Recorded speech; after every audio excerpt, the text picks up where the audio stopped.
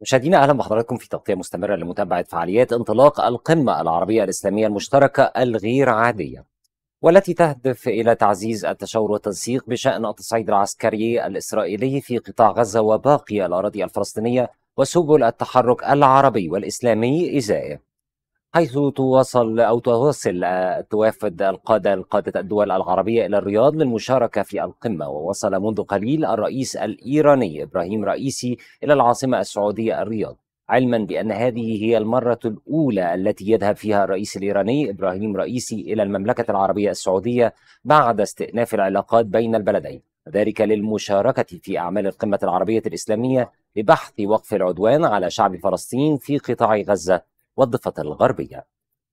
كان قد وصل صباح اليوم السيد الرئيس عبد الفتاح السيسي للمشاركة في القمة العربية الإسلامية المشتركة الغير عادية. تأتي مشاركة الرئيس السيسي في القمة استمرارا لدور مصر منذ بداية الأزمة في بذل كافة المساعي لدفع جهود وقف إطلاق النار وتوفير المنافذ الآمنة لدخول المساعدات الإنسانية إلى أهالي قطاع غزة فضلا عن دفع مسار إحياء عملية السلام والتسوية العادلة والدائمة للقضية الفلسطينية على أساس حل الدولتين وفقا لمقررات الشرعية الدولية. أيضا وصل الرئيس الفلسطيني محمود عباس أبو مازن إلى السعودية مساء أمس الجمعة للمشاركة في أعمال القمة.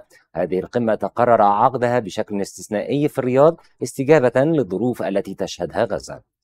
كما وصل العاهل الأردني الملك عبد الله الثاني يرافقه الأمير الحسين بن عبد الله الثاني ولي العهد للمشاركة في أعمال القمة. ووصل أيضا إلى الرياض الرئيس السوري بشار الأسد والوفد المرافق له لبحث الأوضاع في الأراضي الفلسطينية. كانت قد أوضحت وزارة الخارجية السعودية أنه تقرر عقد القمة العربية الإسلامية المشتركة استجابة للظروف الاستثنائية التي تشهدها غزة وبعد تشاور المملكة مع جامعة الدول العربية ومنظمة التعاون الإسلامي استشعارا من قادة جميع الدول لأهمية توحيد الجهود والخروج بموقف جماعي موحد يعبر عن الإرادة العربية الإسلامية المشتركة بشأن ما تشهده غزة والأراضي الفلسطينية من تطورات خطيرة وغير مسبوقة تستوجب وحدة الصف العربي والإسلامي في مواجهتها.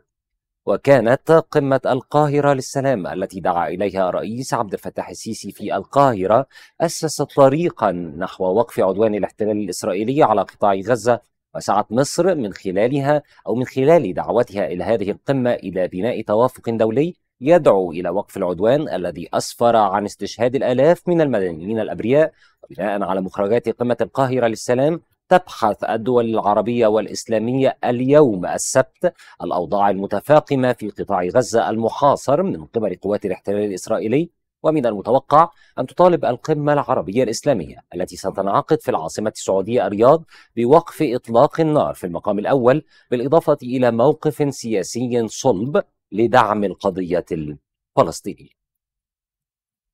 إذا مشاهدينا مستمرين في متابعة تطورات القمة على مدار الساعة من تلفزيون اليوم السابع. شكرا جزيلا على المتابعة وإلى اللقاء.